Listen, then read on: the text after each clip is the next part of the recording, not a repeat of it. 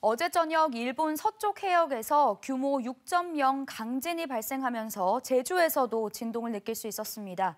흔들림을 느꼈다는 신고가 잇따랐는데 제주도 역시 더 이상 지진 안전지대가 아닌 만큼 대비가 필요해 보입니다. 보도에 허지영 기자입니다. 건물 바깥을 비추는 CCTV 화면이 좌우로 미세하게 흔들립니다. 같은 시간 다른 곳을 비추는 화면도 움직입니다. 10초가량의 짧은 순간이었지만 이 시각 제주에서 지진을 느꼈다는 신고가 20건 이상 119에 접수됐습니다. 코트를 걸어져 있었거든요. 남자 코트가. 그게 막 흔들려갖고 집이 흔들렸다니까요. 아파트가. 이제 친구한테 카톡 보면 지진이 일어난 것 같다고. 밤에 TV 보면서 누워 있었는데 침대가 흔들흔들하는 느낌이 들었어요. 속으로 어 이게 지진인가 싶은 생각이 들긴 했어요. 지진이 발생한 건 어제 저녁 8시 54분쯤.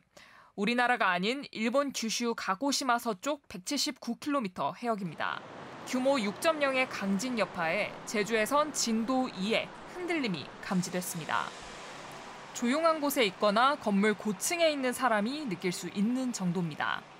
4년 전 경주에서 발생한 역대 최대 규모의 지진이 직선거리 300km의 서울에서도 감지됐는데 일본 진앙지와 비슷한 거리에 놓인 제주에서도 지진의 여파를 느낄 수 있던 겁니다.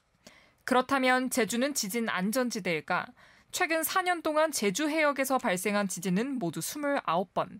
기계만 관측할 정도의 규모지만 전문가들은 안심해서는 안 된다며 일본 지진에 대한 주의도 필요하다고 말합니다. 흔들리는 정도로 끝날 가능성은 있지만 지진의 일은 오면 올수록 그 에너지가 점점 증폭되는 이제 효과를 갖고 있기 때문에 어, 해안가에서는 충분히 피해를 입을 수 있는 상황이 됩니다. 예상치 못하게 찾아오는 자연재해. 일본 지진대에 따른 제주의 영향에 대해서도 연구가 필요한 시점입니다. KBS 뉴스 허지영입니다.